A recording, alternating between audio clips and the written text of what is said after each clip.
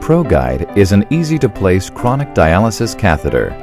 To begin, insert the introducer needle into the target vein, preferably the right internal jugular. Aspirate to ensure proper placement. Advance the guide wire until the tip resides in the inferior vena cava, or as far as is appropriate. Remove the needle, leaving the guide wire in place. Enlarge the insertion site Make a small incision at the catheter exit site on the chest wall to accommodate the cuff. Use blunt dissection to create a tunnel opening in the subcutaneous tissue. The distance of the tunnel should be short enough to keep the Y-hub of the catheter from entering the exit site, but long enough to keep the cuff 2 centimeters from the skin exit site. Pull back the stylet tip into the catheter and attach the catheter to the tunneler. Slide the tunneling sleeve over the catheter so it covers the arterial hole. Insert the tunneler into the hub exit site and pull the tunneler and catheter through the subcutaneous tunnel to the venous insertion site. Do not tunnel through muscle. Gently lead the catheter tunneler connection into the tunnel. When tunneling is complete, remove the tunneler from the catheter. Do not pull the tunneler out at an angle. Keep the tunneler straight to prevent damage to the catheter tip.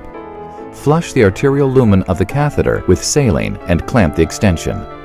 Thread the dilator over the proximal end of the guide wire and advance until it is in the target vein.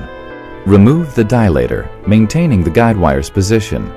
Advance the stylet so that it protrudes from the catheter tip.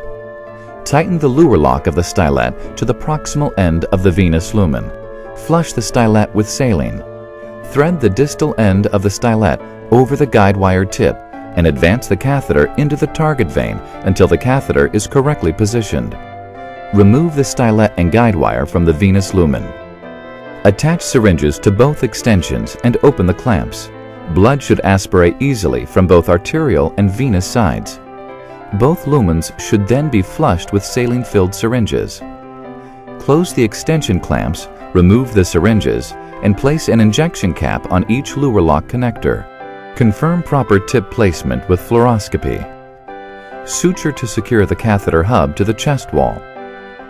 The unique design of ProGuide, specifically the apposition deflection feature or bump, reduces the risk of it lying directly against the vessel wall or wall of the heart.